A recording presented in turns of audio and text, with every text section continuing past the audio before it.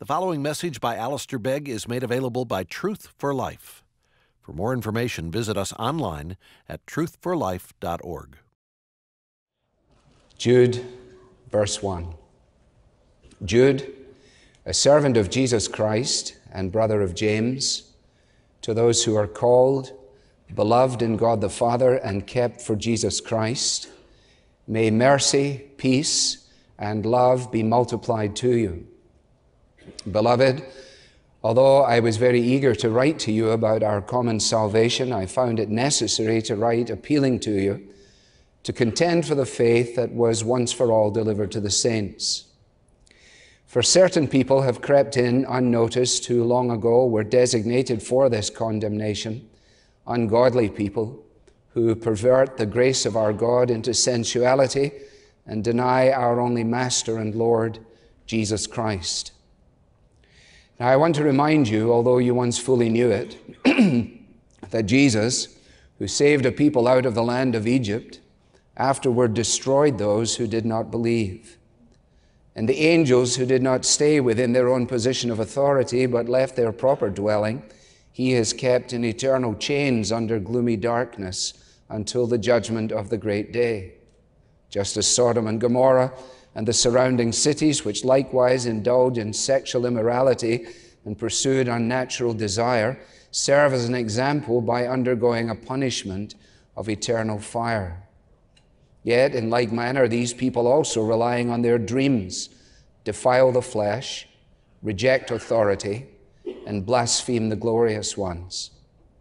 But when the archangel Michael, contending with the devil, was disputing about the body of Moses, he did not presume to pronounce a blasphemous, blasphemous judgment, but said, The Lord rebuke you.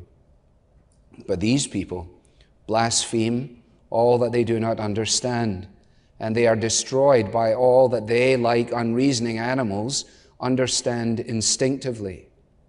Woe to them, for they walked in the way of Cain and abandoned themselves for the sake of gain to Balaam's error and perished in Korah's rebellion. They are hidden reefs at your love feasts as they feast with you without fear, shepherds feeding themselves, waterless clouds, swept along by winds, fruitless trees in late autumn, twice dead, uprooted, wild waves of the sea casting up the foam of their own shame, wandering stars for whom the gloom of utter darkness has been reserved forever. It was also about these that Enoch, the seventh from Adam prophesied, saying, Behold, the Lord comes with ten thousands of his holy ones to execute judgment on all and to convict all the ungodly of all their deeds of ungodliness that they have committed in such an ungodly way, and of all the harsh things that ungodly sinners have spoken against him.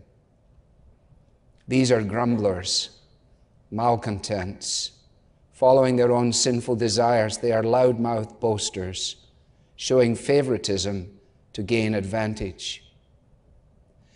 But you must remember, beloved, the predictions of the apostles of our Lord Jesus Christ. They said to you, In the last time there will be scoffers following their own ungodly passions. It is these who cause divisions, worldly people devoid of the Spirit. But you, beloved, building yourselves up in your most holy faith and praying in the Holy Spirit, keep yourselves in the love of God, waiting for the mercy of our Lord Jesus Christ that leads to eternal life. And have mercy on those who doubt. Save others by snatching them out of the fire. To others, show mercy with fear, hating even the garment stained by the flesh. Now to him, who is able to keep you from stumbling and to present you blameless before the presence of his glory with great joy.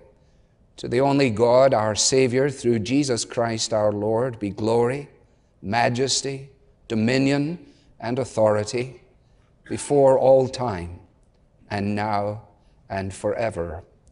Amen.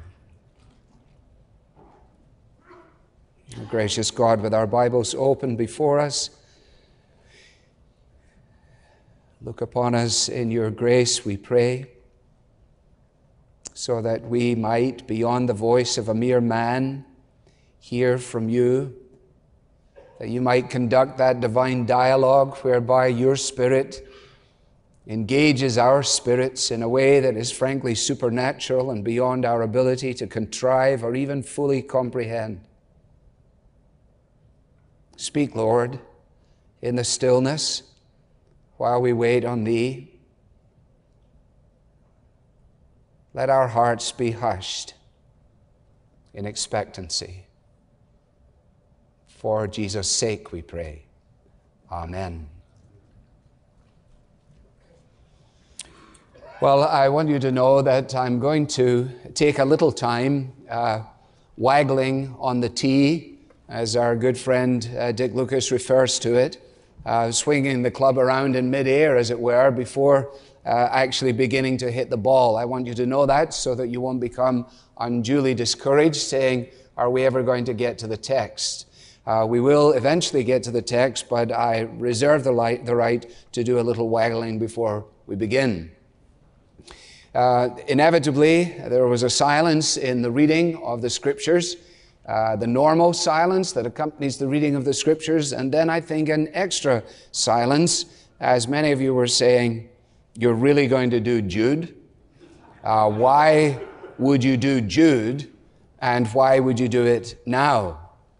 And if any of you even came close to thinking along those lines, uh, you realize that part of your reason for doing so is because although this is a very short letter, just one page, not as short as 3 John or Philemon, but short nevertheless, 25 verses, it is arguably the most neglected of all of the New Testament letters. And I think the very solemnity of it that comes across in public reading is clearly one of the reasons for that neglect. I confess to being part of that neglect. After 38 years in pastoral ministry, I don't believe I have a single sermon preached on the letter of Jude. And by five o'clock this afternoon, you may wish that I had left it exactly in that way. But I wanted to do something that was fresh for me, and this is definitely fresh for me and timely. Well, you see, of course, the Bible is timely, it's always timely. Don't be pedantic, I understand that. I mean, peculiarly relevant because of the nature of the times in which we find ourselves. Because this particular letter is of vital importance when certain circumstances intersect with the prophecy that is contained in it of these significant and peculiar times that will come upon the church. When there are scoffers following their own ungodly passions, and in doing so are seeking to unsettle and undermine the faithful. I find it worthwhile to consider uh, the parallels between the condition of evangelicalism today as we know it and the period of theological declension that was faced by Spurgeon at the end of the 19th century. If you have read much of the downgrade controversy, you will know that uh, the book of Jude certainly has something to say. Spurgeon was confronted by a period when the authority and the sufficiency of Scripture was being vigorously attacked. The doctrine of penal substitutionary atonement was being ridiculed in large measure. And when he might have expected that the church, including his own brother, who was also his assistant minister, the Reverend James Spurgeon, when he might have expected that people would close ranks and hold the line, instead he realized that there was an amazing capitulation to the pressure of uh, liberal scholarship that was coming largely from Germany, but was being aided by much that was taking place in the, in the UK. And Spurgeon recognized that two things were happening. One, that God was being robbed of his glory, and that men and women were being robbed of their hope. He spoke about this and wrote about it quite clearly. I quote him These destroyers of our churches appear to be as content with their work as monkeys with their mischief. That which their fathers would have lamented, they rejoice in. avoid atheists are not a tenth as dangerous as those preachers who scatter doubt and stab at faith. The church, throughout all of history, has triumphantly survived the attacks which have come from the outside. The church, throughout history, has scattered itself in ruins when the declension has come from within.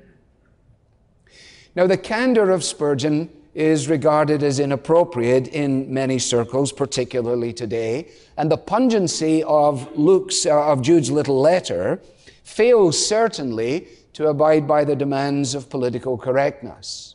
If you were paying attention, as I'm sure you were, as he introduces us to these people or certain people whom he doesn't identify by their names, which I think is very helpful, these people he describes as waterless clouds, fruitless trees, wild waves, wandering stars, unreasoning animals, and loud mouthed boasters.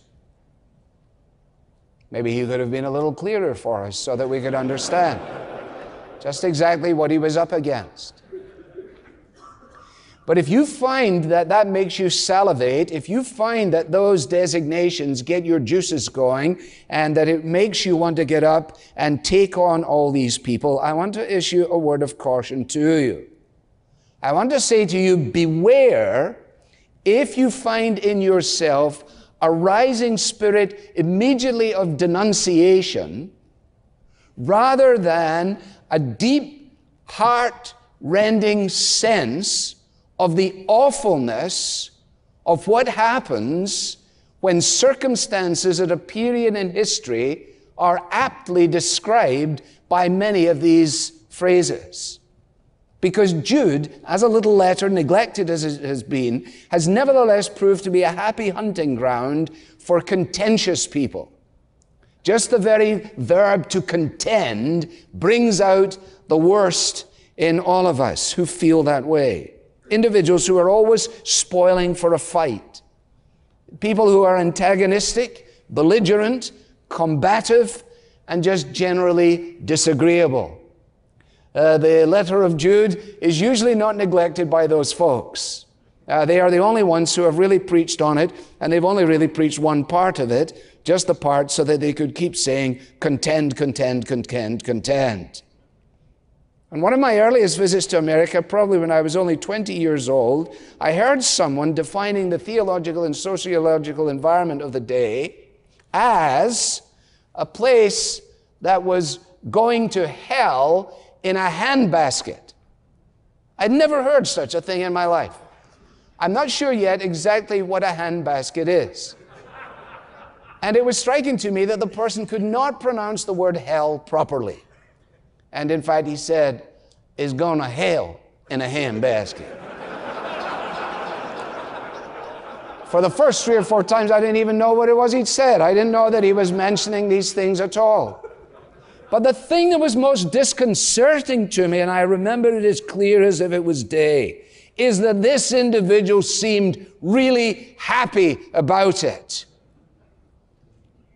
That he didn't say it with a notion of sadness. There was no tear in his eye. There was no apparent concern for those who were included in the handbasket.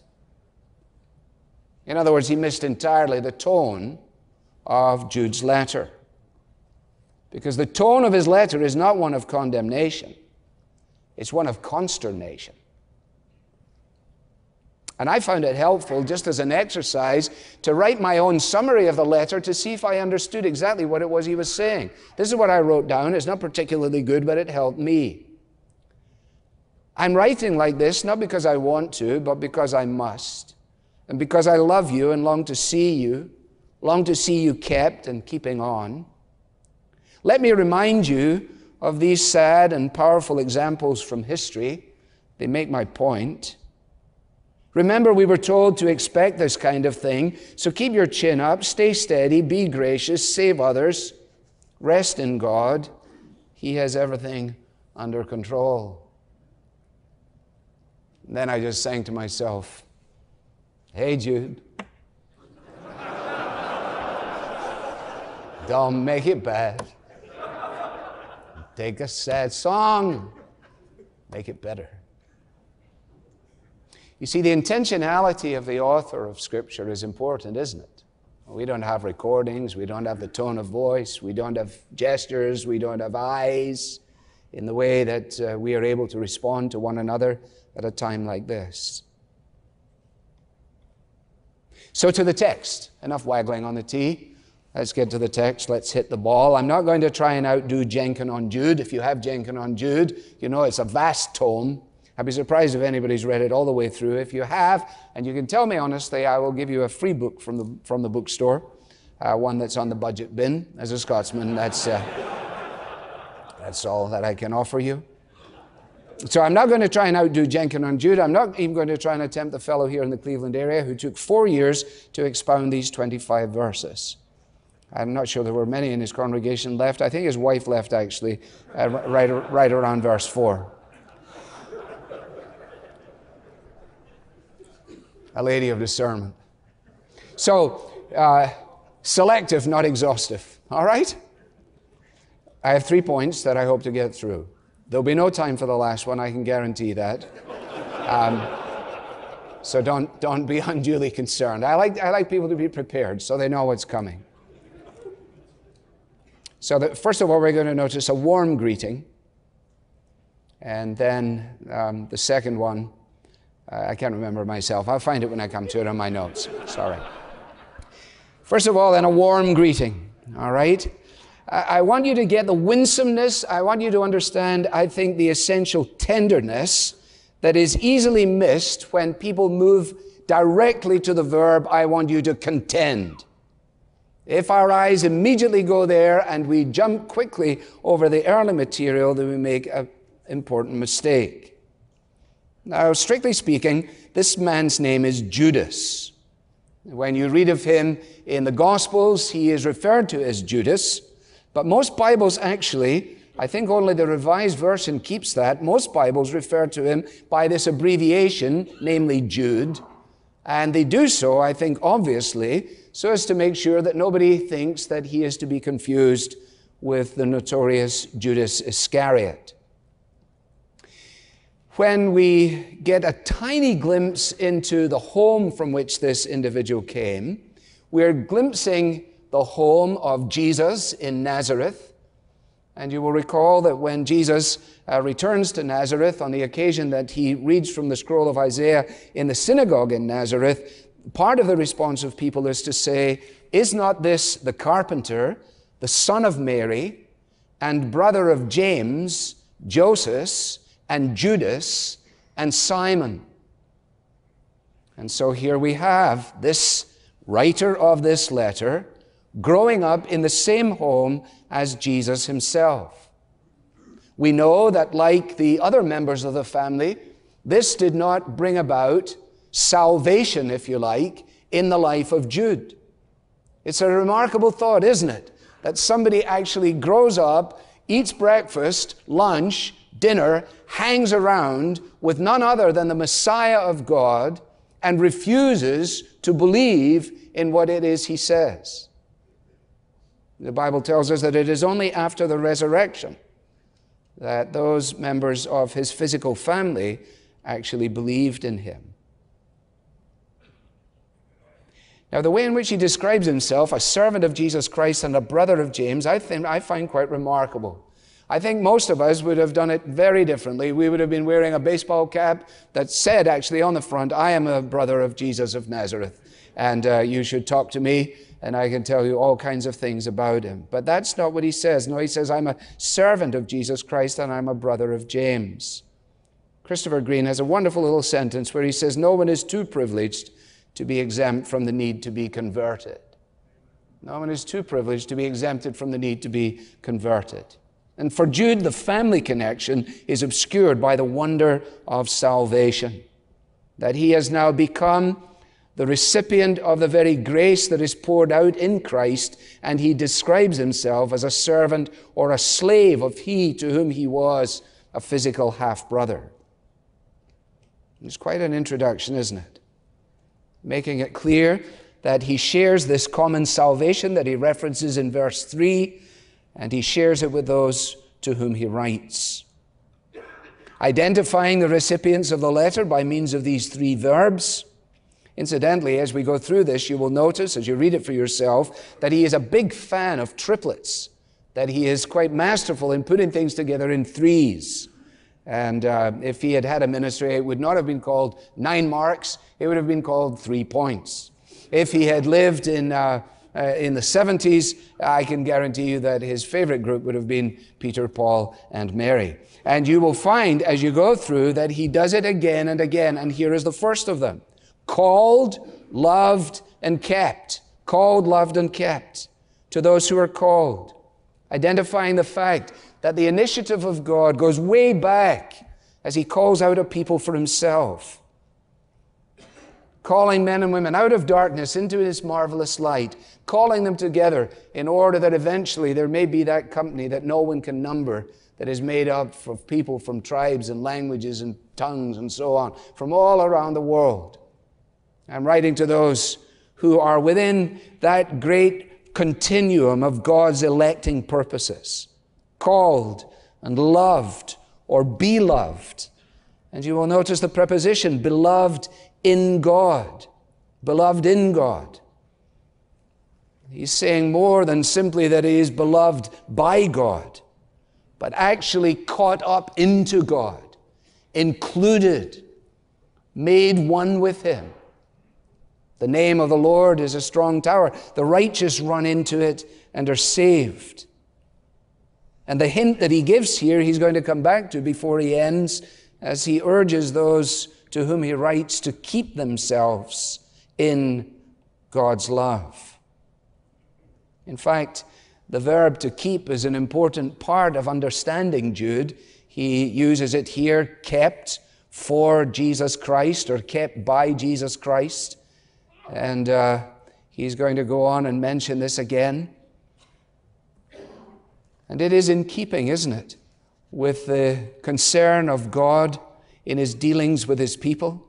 It is in keeping with Christ's prayer in his high priestly prayer for those who were his own keep them in your name. And so, before he warns his readers, like a good pastor, he provides them with warm encouragement, covering, if you like, the tenses of their salvation. You have been called, he says, by the initiative of God. You are presently beloved of God in Christ.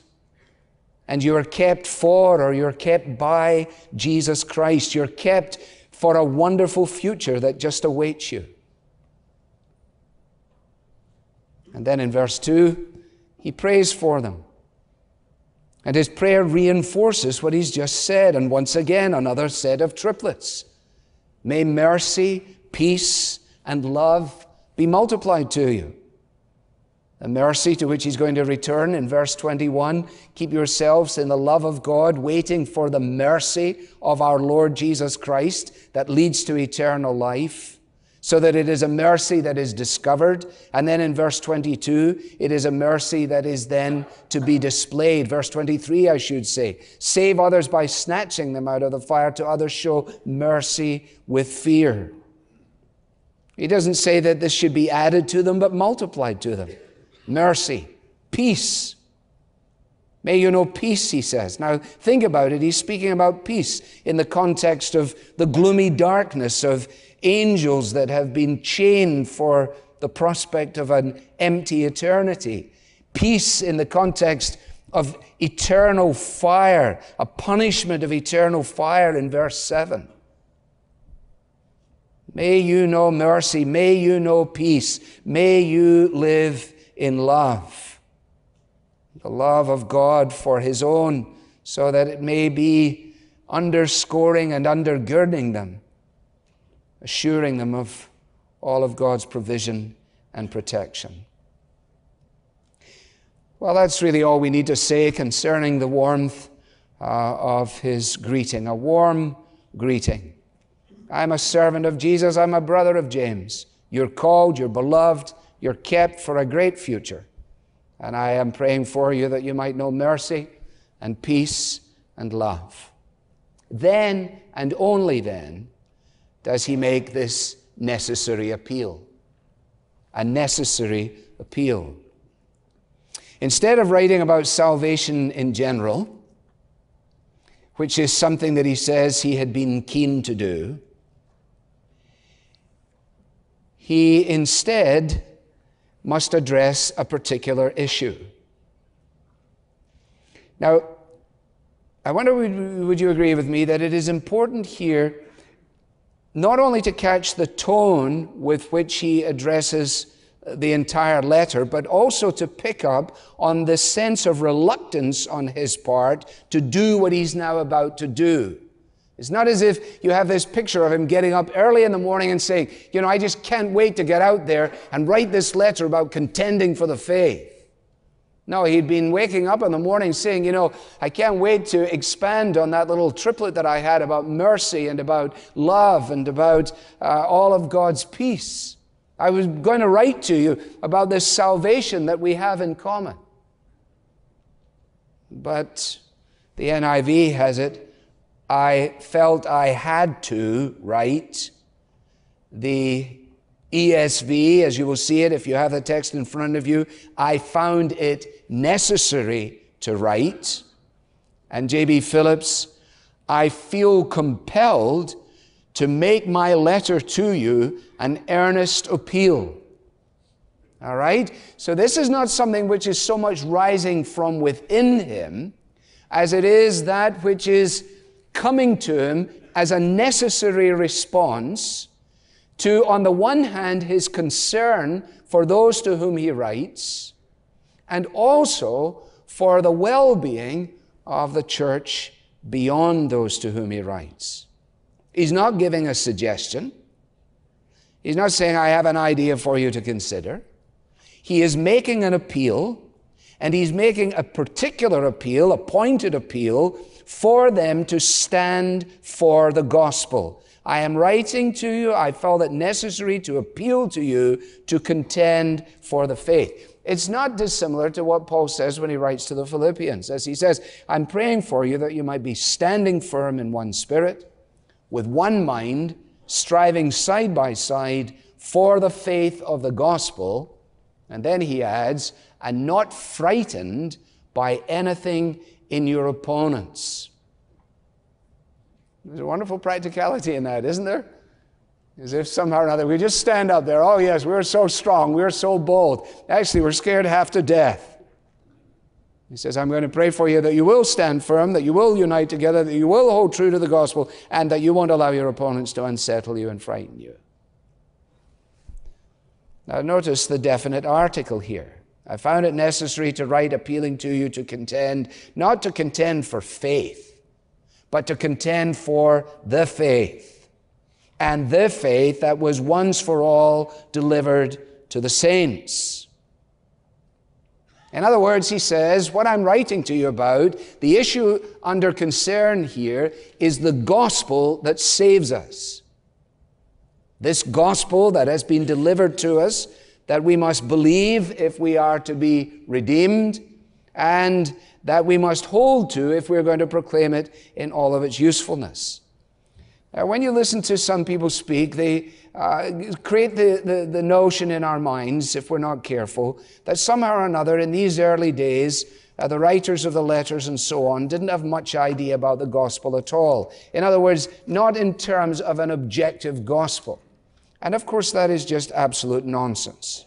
Let me just give you, for example, Galatians 1, to which your mind will probably inevitably go.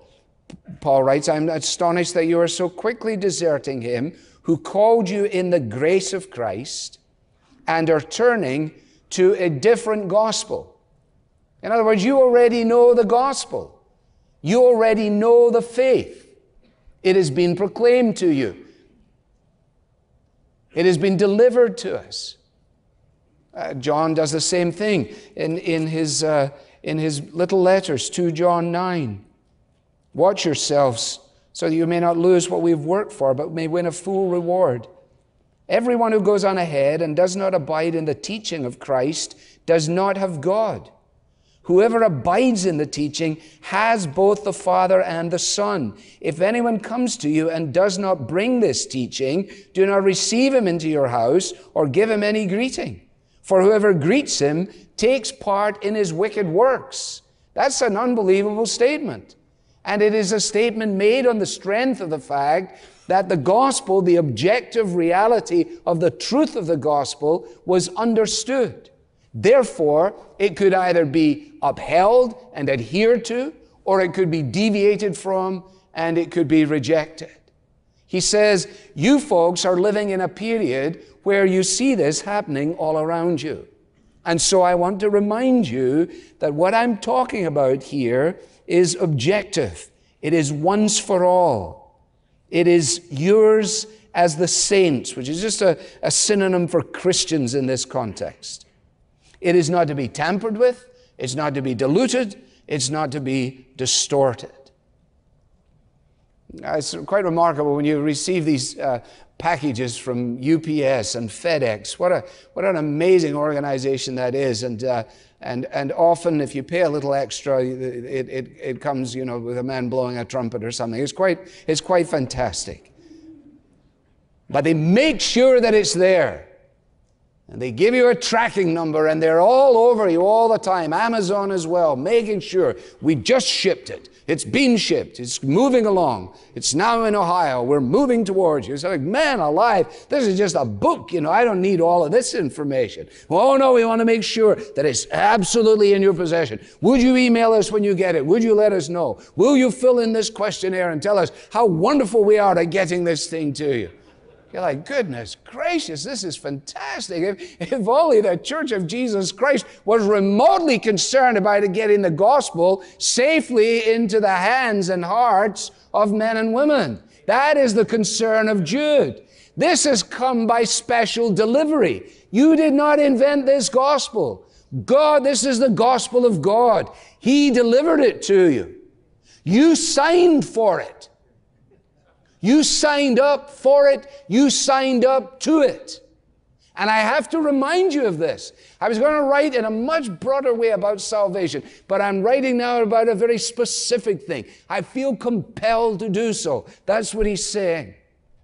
And this gospel is then to be not only preserved, but proclaimed. What God has said, he has said, with nothing to be added. What God He has, has done, He has done with nothing else required. That is the gospel. And at the heart of this is surely the issue of the atonement itself. That little phrase, once for all, should send all of us immediately flipping back to the book of Hebrews and realizing again that the writer of the Hebrews is driving a stake through this. Again and again, he's saying to his readers, You must understand this. Christ, when he had offered for all time a single sacrifice for sins, sat down at the right hand of God, thus negating any other addition to the once for all penal substitutionary atoning sacrifice of Christ Himself. This is not theological lumber, you know this, brothers. And this, in Jude's day, was clearly an area of attack. And unless I'm misreading all of the literature, it remains an area of attack. Listen to Spurgeon. At the same time, as I referenced earlier, he says, I have always considered with Luther and Calvin that the sum and substance of the gospel lies in the word substitution. Christ standing in the place of man. I, writes Spurgeon, deserve to be lost forever. The only reason why I should not be damned is this that Christ was punished in my place. And there is no reason to execute a sentence twice for sin. And the Baptist Union of England rose up against this strange, dogmatic Spurgeon man that he would hold to such a view. Well, it's all around us, brothers. I'm not the prophet of doom. I, I don't, I, I don't uh, aspire to the, the, to the role. But I, I remember, in fact, I had a text just from somebody this afternoon. It made me think about it. Being told about a very large church in the Great Lakes area where the pastor expressed his desire to have some visiting musicians soften the words of their song. What song? The song that had the line, The wrath of God is satisfied. And on the cross, for on the cross, where Jesus died, the wrath of God is satisfied. And the pastor said, if you don't mind, we will simply excise that line and place something else there instead. The, the, the, folks involved had enough guts to say, well, let's just not sing the song at all. Because if you take that out, you have destroyed the song of all of its significance. It would be wrong for me to, to take you forward from that, but let me tell you that the pastor's contemporary views on morality have inevitably followed from his views on theology. When you go wrong on the doctrine of Scripture, when you go wrong on the doctrine of the atonement, it is only a matter of time before everything else flows from it. I say that not with happiness, but with sadness. And church history, when we read it, right up to the present day, bears testimony to what happens when men drift from the moorings of authentic, historical Christian faith. When they begin to view Christianity as a process towards an understanding of God. When that happens, virtually any view may be entertained, virtually any view may be tolerated, just so long as the insight does not claim finality. Did any of you get up at 4:15? There must be some noble souls here who got up at 4:15 a couple of weeks ago to watch the funeral service of Margaret Thatcher live. Please, please, please, there must be someone who was up with me. You miserable Philistines, all of you.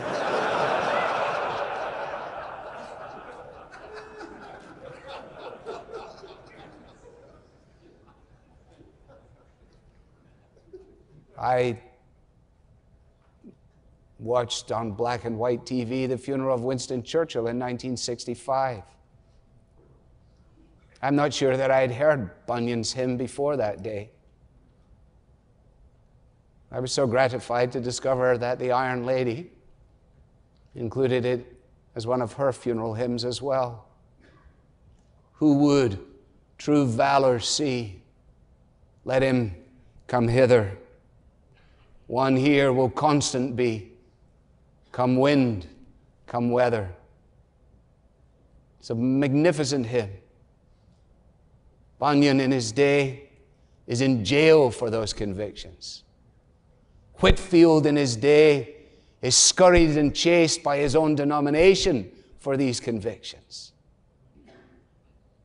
Spurgeon stands out as a man of conviction in a context where the theological climate was trying to collapse everything into one great mess of consensus. Is it outlandish to say that contemporary evangelicalism stands like the armies of Israel confronted by Goliath and waiting for a shepherd to step forward and address the issue? the armies of Israel, all dressed up, nowhere to go. All dressed up and no one prepared to fight. We daren't cloak our cowardice with the ill fitting garments of correctness. No, he says, this is a necessity. This is the reason I'm giving you this appeal to contend for the faith, a faith that was once for all delivered to us as the believers in Jesus. And let me tell you, he says in verse 4, Here's the reason certain people have crept in. They've crept in. It's a very interesting verb, isn't it? It's an important verb. They've crept in unnoticed. They don't come in through the front door. Hello, uh, we're here to challenge the sufficiency of Scripture this morning. And uh, we would love to uh, uh just have an opportunity. If you could give me five minutes at the conference, uh, we'd like to do that. No, they don't do that at all. No. No, if you're trying to surprise somebody, you, you creep in. I actually tried to creep in the other morning. I was in Michigan a couple of 10 days ago, in fact, last Tuesday, it must have been. So last Monday I was there. And I was supposed to come home at quarter to two, and I didn't like the idea. And I found that there was a flight at quarter to six in the morning, which meant getting up at four o'clock, but that was okay because it filled me with a sense of anticipation. I said, How wonderful is this? I will tell my wife that I'm coming home at four o'clock in the afternoon. I will arrive early in the morning. I'll be able to creep in and surprise her.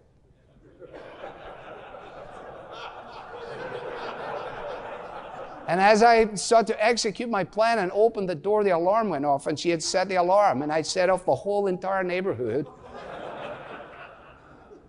and I didn't know the number to switch it off. And it was a fiasco. Here was I, I said, Oh, this is this is this is good. This will be good. This is good. And she's like, Why did you come home just now? You know? And why don't you know the thing? And I'm like, why did I come home just now? This is, this is, this is a mess. Jeez.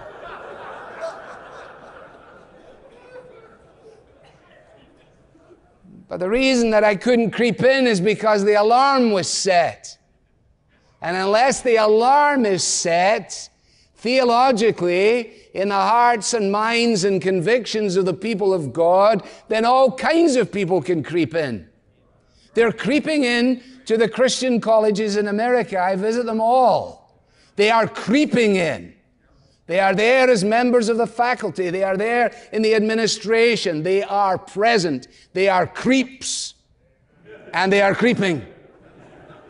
And they have crept in unnoticed. Why are they unnoticed? Because people are not paying attention to a gospel once delivered to the saints. Oh, don't be so hard hearted. Don't be so definitive. Don't be so dogmatic. Don't be so old. Don't be, don't be, don't be. Listen. Unnoticed. So he says, these certain people shouldn't actually unsettle you because they haven't taken God by surprise. That's the significance, I'm sure, of long ago they were designated for this condemnation. When you read the, the, the, the, middle section of the letter, you realize the, the, the way in which he goes back to the past and reinforces this. He doesn't name them, they're certain people. It's pretty good that he doesn't name them because I think it helps us to realize that the application uh, goes on and on and on. If we had all these names, we'd say, well, this applied particularly to Mr. So and so, but it doesn't. It applies to certain people creeps, long ago designated for condemnation. What are they marked by? Well, notice they are ungodly people. They are ungodly people.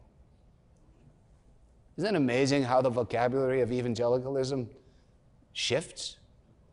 You heard anybody described as ungodly lately?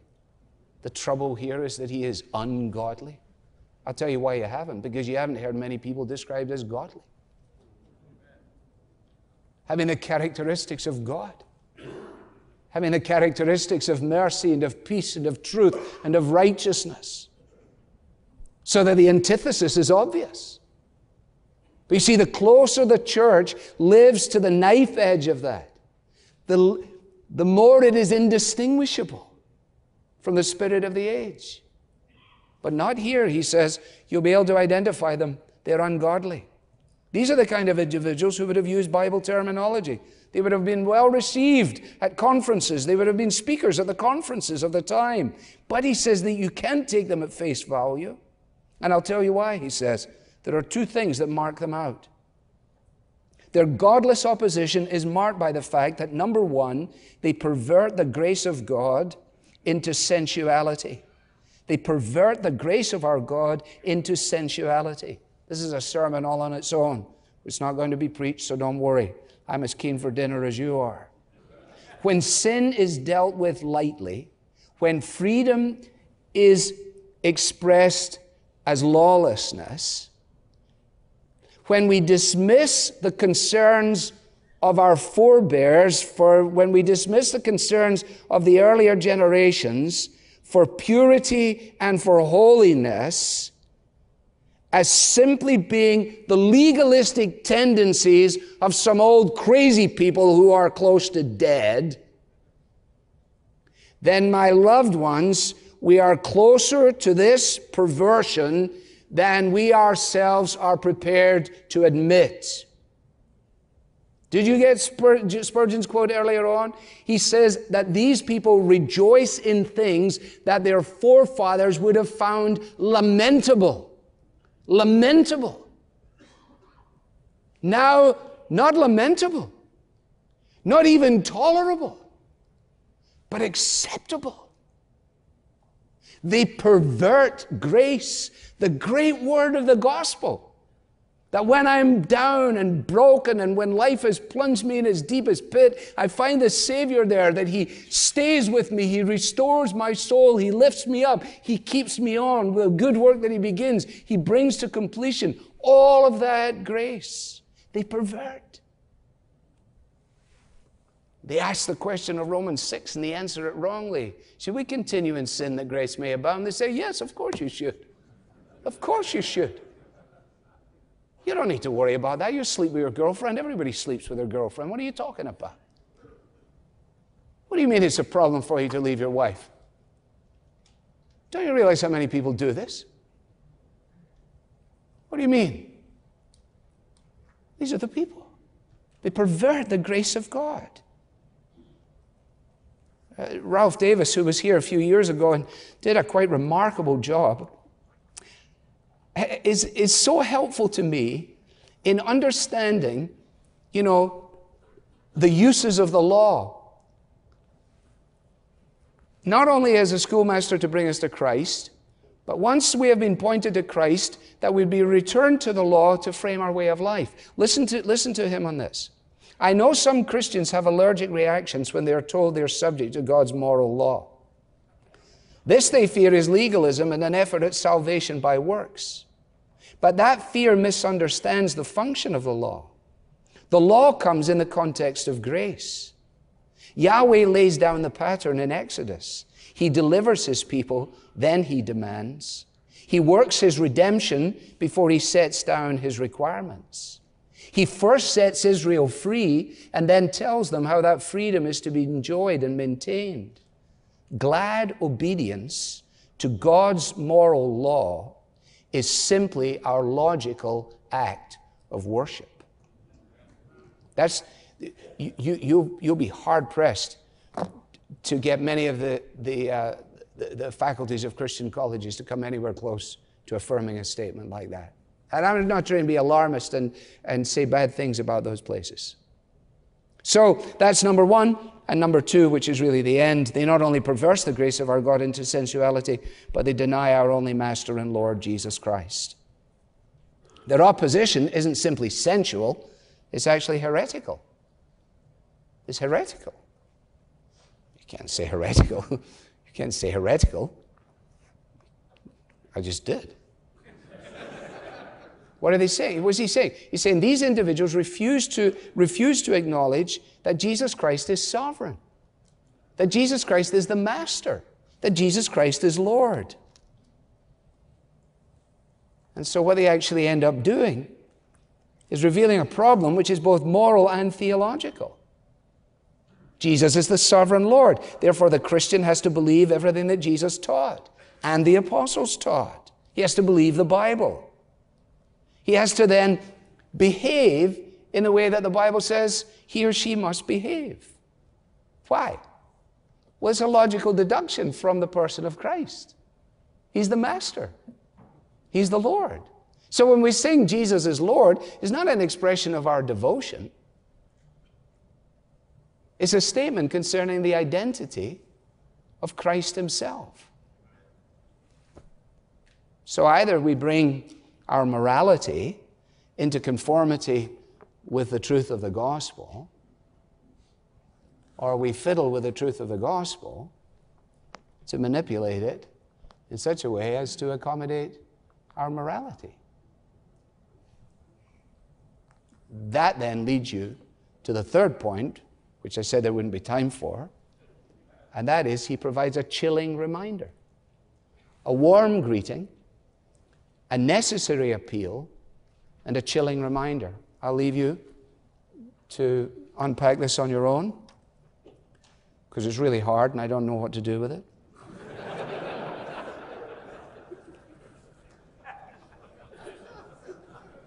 you see, he's got another of his threes.